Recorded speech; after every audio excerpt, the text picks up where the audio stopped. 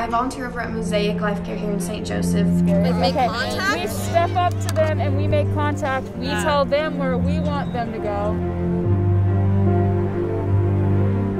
The reason I got the vaccine was because I'm in contact with a lot of patients all the time. So the vaccine, in my opinion, is the way that this country is going to get back to some sense of normalcy. We could go to a concert or you could all go to a sporting event again with no worries or have to go get um, anything shoved up our nose before and get tested and worry about exposure 24 7. I've taken this very seriously the whole time, but we've had people in our family pass from it. And so that's why it woke my eyes up even more because it was personal at that point.